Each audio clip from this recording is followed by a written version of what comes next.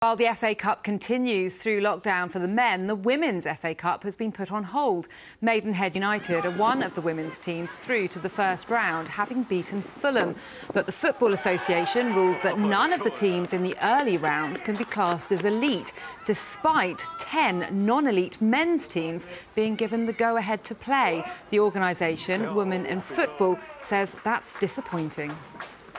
I'd like to be treated as an equal, so I think it is good to look at it across that and think, well, why can they play? But we've, we've had a good run so far in, in, the FA Cup and our league results, so you do gain a bit of momentum on and off the field. So, yeah, it is unfortunate that we're unable to continue at this time.